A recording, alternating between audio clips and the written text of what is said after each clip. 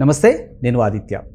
Mahesh and Rajamouli కాంబోలో రాబోతున్నటువంటి మూవీకి కౌంట్ డౌన్ స్టార్ట్ అయిందని దీనికోసం ఆఫ్రికన్ అడవుల్లో లొకేషన్స్ వేయటం మొదలైందంటూ ఎస్ఎస్ కార్తికేయ ఎక్స్వేదిక్గా వెల్లడించడం జరిగింది. మరి దీని గురించి పూర్తి సమాచారం తెలుసుకునే ప్రయత్నం చేద్దాం. ప్రస్తుతానికి మనతో పాటు స్టూడియోలో ఉన్నారు ప్రముఖ సినీ క్రిటిక్ యజ్ఞమూర్తి గారు. సార్ని అడిగి మన విషయాలు తెలుసుకుందాం.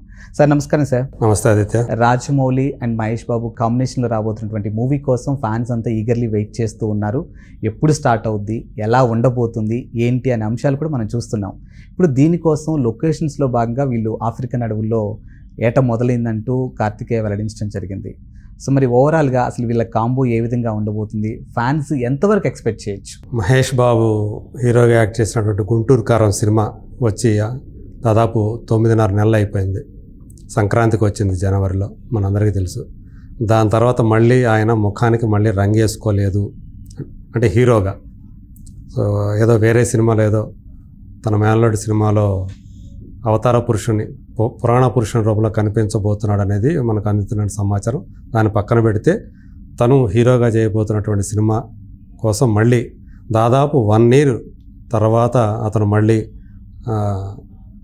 ముఖానికి రంగేసుకుంటాడు అంటూ మనకు వార్తలు వినిపిస్తున్న నేపథ్యంలో ఇప్పుడు ఆ సినిమా ఎప్పుడు మొదలవుతుంది అసలు రెగ్యులర్ షూట్ ఎప్పుడు మొదలవుతుంది అని చెప్పేసి ఫ్యాన్స్ అందరూ కూడా చాలా ఆతృత ఎదురు చూస్తున్న సమయంలో కార్తికేయ పెట్టినటువంటి తన ఇన్స్టా స్టోరీలో పెట్టినటువంటి అంశం ఏదైతే ఉందో ఒక ఫోటోతో పాటు అది ఇప్పుడు అందరినీ కూడా వాళ్ళ అంటే ఒక సంబరాల్లో ముంచెత్తిందనే చెప్పాలి. తాము ఆఫ్రికా అడవుల్లో ఉన్నామని చెప్పేసి తను ఒక పోస్ట్ చేశాడు. సో అంటే లొకేషన్ వేట కోసం వాళ్ళు వెళ్ళారు. మన మనకు తెలుసు ఇది ఆఫ్రికా అడవుల నేపథ్యంలోనే ప్రధానంగా ఈ సినిమా కథ నడుస్తుందని చెప్పేసి మనకి ఇప్పటివరకు అందుతున్నటువంటి సమాచారం. సో ఒక గ్లోబ్ ట్రాటింగ్ ఇతివృత్తం అని కూడా చెప్పారు. అంటే లోకం చుట్టే వీరుడుగా మహేష్ బాబు అందులో కనిపిస్తాడు అనేది. పైగా భారతదేశం నుంచి వస్తున్నటువంటి హయ్యెస్ట్ బడ్జెట్ మూవీగా ఇది నిలవబోతోంది అని కూడా మనకు అందుతున్నటువంటి సమాచారం. మోర్ దాన్ థౌజండ్ క్రోర్స్ ఈ సినిమా కోసం వెచ్చించబోతున్నారని. సో దాన్ని దుర్గా ఆర్ట్స్ వాళ్ళు ఎన్నో సంవత్సరాల తర్వాత మళ్ళీ ఈ సినిమాతోటి మన ముందుకు రాబోతున్నారు. వాళ్ళు గతంలో గొప్ప గొప్ప సినిమాలు వాళ్ళు ప్రొడ్యూస్ చేశారు. సో డాక్టర్ కేఎల్ నారాయణ అలాగే senior cinematographer S Gopal Reddy. So వాళ్ళిద్దరూ కూడా ఆ దుర్గా ఆర్ట్స్ అధినేతలు. సో దానికోసం వాళ్ళు వేరే సినిమాని కూడా ఏవి పెట్టుకోలేదు వాళ్ళు. సో ఎప్పుడే గతంలో ఇద్దరు కూడా రాజమౌళి మహేష్ బాబు వాళ్ళిద్దరూ కూడా మేము మీకు ఒక సినిమా చేస్తామని చెప్పి మాట ఇచ్చారు సో ఆ మాటకి తగ్గట్లుగా నాకు తెలిసి దాదాపు పన్నెండేళ్ళు ఎంత అయింది మాట ఇచ్చి కూడా వాళ్ళు. సో ఎంత కాలానికి అది కుదిరింది ఆ కాంబో కుదిరింది. తను తనకు కూడా ఆ సినిమా కోసం చాలా కష్టపడుతున్నాడు. అంటే మహేష్ ఇప్పుడు దాకా చేసిన సినిమాలన్నీ ఒక ఎత్తు అయితే ఆ సినిమాల కోసం అతను చేసినటువంటి కసరత్తు ఒక ఎత్తు అయితే సో ఈ సినిమా కోసం ఎప్పుడూ లేనంత కష్టం అతను పడుతున్నాడు. అంటే సినిమా మొదలు కాలేదు ఇంకా షూటింగు. కానీ ఈ లోపల ఆ ఫిట్నెస్ విషయంలో కానివ్వండి అలాగే అందులో ఉన్నటువంటి యాక్షన్ సీక్వెన్స్లు ఏవైతే ఉన్నాయో వాటికి సంబంధించినటువంటి ట్రైనింగ్ కానివ్వండి అలాగే చాలా ప్రమాదకరమైనటువంటి రిస్కీ షాట్స్ ఈ సినిమాలో అనేక ఉంటాయని చెప్పి తెలుస్తూ ఉంది. సో మరి వాటి కోసం అన్ని రకాలుగా కూడా అతను సమాయత్తమవుతున్నాడు మహేష్ బాబు అని మనకు సమాచారం.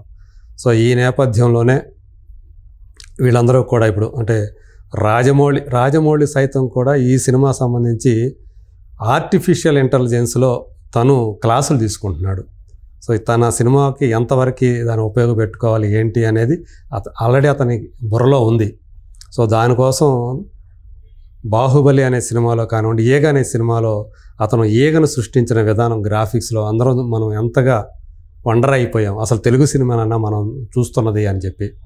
సో అంత బాగా అతను గ్రాఫిక్స్ను ఉపయోగించుకోవటం ఖర్చుకు వెనకాడకుండా అది రియలిస్టిక్ అనిపించే విధంగా అతను తీసు తీసుకోవటం మనం చూసాం అలాగే బాహుబలి కానీ మగధీర కానీ అతను చేసిన సినిమాలు ఏవైతే ఉండే ట్రిపుల్ ఆర్ కానివ్వండి గ్రాఫిక్స్కి చాలా పెద్ద పీట వేస్తాడు. సో దానితోటి వండర్స్ క్రియేట్ చేస్తాడు. అలాగే ఈసారి ఆర్టిఫిషియల్ ఇంటెలిజెన్స్ తోటి ఒక వండర్ క్రియేట్ చేయడం కోసం అతను చాలా శ్రమ పడుతున్నాడు అందుగురించే దాదాపు వన్ అండ్ హాఫ్ ఇయర్ నుంచి అంటే ట్రిపుల్ ఆర్ తర్వాత నుంచి అతను ఈ ప్రాజెక్టుకి సంబంధించే సో ప్రీ ప్రొడక్షన్ కోసం వన్ అండ్ హాఫ్ ఇయర్ పైనే అతను టైం వెచ్చించాడు. ఈవెన్ అందులో పనిచేస్తున్నటువంటి టెక్నీషియన్స్ కూడా ఫైట్ మార్ట్ మాస్టర్స్ కూడా ఆల్రెడీ మూడు నాలుగు నెలల నుంచి రిహార్సల్స్ చేస్తున్నారు యాక్షన్ సీక్వెన్స్ల కోసం.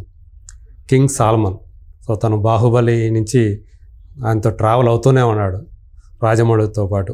తను ఎప్పుడు పిలిస్తే అప్పుడు రెడీగా ఉండి వెళ్తూ ఉన్నాడు. సో అతను ఆల్రెడీ చేసి మూడు నెలల నుంచి ఈ పనిలోనే ఉన్నాడు. అలాగే మిగతా వాళ్ళు కూడా.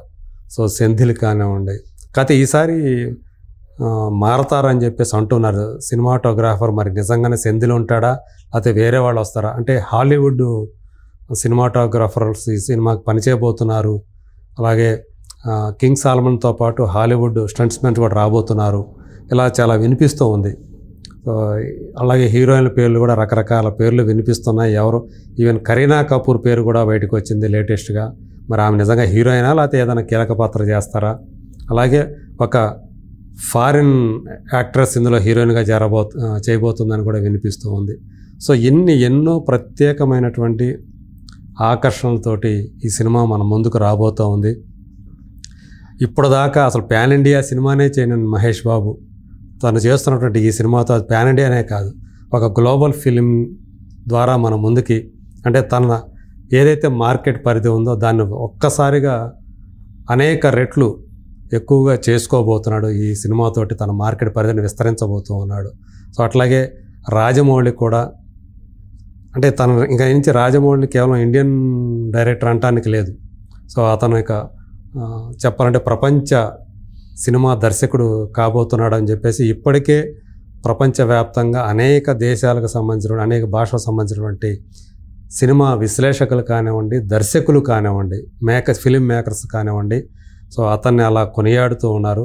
ఒక రకంగా చెప్పాలంటే ఒక తెలుగు వాళ్ళగా అది మనందరికీ దక్కిన గౌరవంగా కీర్తి ప్రతిష్టలనే భావించాలి. సో ఇప్పుడు తను నేరుగా ఒక గ్లోబల్ ఫిల్మ్ని సో ట్రిపుల్ ఆర్ తోటి తను ఆస్కార్నే సాధించాడు. అంటే తను నేరుగా కాకపోయినా ఆ సినిమాకు పనిచేసిన టెక్నీషియన్స్ కీరవాణి చంద్రబోస్ ఇద్దరు కూడా ఆస్కార్ అందుకున్నారు ఆ పాటకు నాటు నాటు పా పాట కోసం. సో అలా ఇప్పుడు తను ఒక ప్రపంచవ్యాప్తంగా అందరికీ తెలిసిన దర్శకుడిగా మారారు. సో కాబట్టి ఆయన మీద ఇప్పుడు ఇంకా కూడా బరువు బాధలు పెరిగాయి. అందుకు తగ్గట్లుగా తన తండ్రి విజయేంద్ర ప్రసాద్ ఇచ్చినటువంటి కథని తను ఇంకో స్థాయికి తీసుకెళ్ళటానికి అన్ని రకాల ప్రయత్నాలు చేస్తున్నాడు. సో కొడుకు ఎస్ఎస్ కార్తికేయ కూడా యాజ్ యూజువల్గా మిగతా సినిమాలకు ఎలా పనిచేశాడో సెకండ్ యూనిట్ డైరెక్టర్గా ఈ సినిమా కూడా ఆయన అదే పని చేయబోతున్నాడు. సో ఇప్పుడు తండ్రి కొడుకులు ఇద్దరూ కూడా ఈ సినిమా షూటింగ్ లొకేషన్స్ని వెతకటం కోసం ఆ, పనిలో ఉన్నారు. ఆఫ్రికా అడవులకు వెళ్ళారు. సో అక్కడ రెక్కి నిర్వహిస్తున్నారు. త్వరలోనే మా దీనికి సంబంధించినటువంటి అంటే వాళ్ళు అక్కడి నుంచి వచ్చిన తర్వాత ఎప్పుడు ఈ సినిమా మొదలు కాబోతుంది ఏంటి అనే దానిపై ఒక మీడియా మీటును నిర్వహించి అఫీషియల్గా అనౌన్స్ చేయబోతున్నారు అని చెప్పేసి మనకు అందుతున్నటువంటి సమాచారం. సో ఎస్ఎస్ఎంబి ట్వంటీ నైన్ లేదంటే ఎస్ఎస్ఆర్ ఎంబి అంటే ఎస్ఎస్ రాజమౌళి మహేష్ బాబు సినిమా అని రెండు రకాలుగా కూడా ఈ సినిమాను వ్యవహరిస్తూ ఉన్నారు వర్కింగ్ టైటిల్ కింద. సో చూద్దాం. ఇది తెలుగు సినిమాని అలాగే భారతీయ సినిమాని ప్రపంచ యవనిక మీద ప్రపంచ ముఖ చిత్రం మీద మరో అంటే చిరస్థాయిగా నిలిచిపోయే ఒక మైలురాయిగా నిలిచే సినిమాగా నిలబెట్టడానికి సో అతను చేస్తున్నటువంటి రాజమౌళి చేస్తున్నటువంటి ఈ యజ్ఞం సో ఎలాంటి ఫలితాన్ని ఇస్తుంది అనేది సో చూడాలి. బహుశా అంటే డిసెంబర్ లేదా జనవరిలో షూటింగ్ మొదలై రెండు వేల ఏడు వేసవికి వస్తుందని చెప్పేసి అంటున్నారు ప్రాథమికంగా. మనం చూద్దాం అది. అంటే మన రాజమౌళి వాళ్ళు చెప్తేనే అది ఎప్పుడు ఏంటి ఆయన ప్లానింగ్ ఏంటి అనేది ఆయన చెప్తే ఆయన ద్వారా అప్పుడే మనకి దాని మీద అవగాహన అనేది వస్తుంది.